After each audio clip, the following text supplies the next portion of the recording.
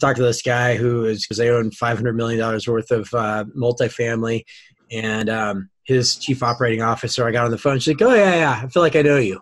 Um, but then that led into a conversation um, about. She goes, "You know, the one you know piece of advice that I think you guys will get more traction was to tighten up um, our process. You know, in the commercial world, and you know that's the world I came from. Right.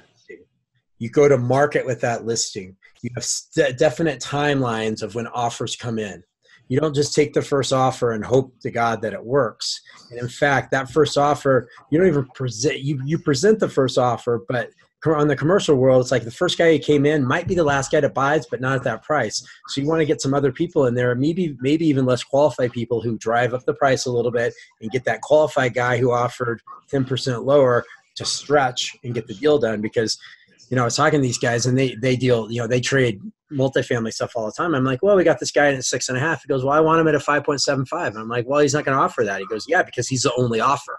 That's when I was doing single family stuff in Chicago. That's how I did so well. So we're buying single family homes one at a time, but I put that commercial side to it and that commercial professionalism, and I killed everybody because there's there's a level that we can raise so that and I'm actually when we get off the phone, I'm going to do a video about this.